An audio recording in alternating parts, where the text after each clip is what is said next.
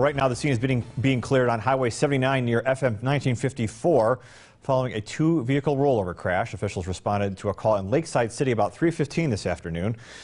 Two people were involved in the wreck, but neither person sustained serious injuries. The Lakeside City Fire Department, Archer County Sheriff's Office, Bowman Volunteer Fire Department, and Texas Game Warden all responded to the scene. The cause of the crash is unknown at this time, so stay with us over on Texoma's homepage for the latest information.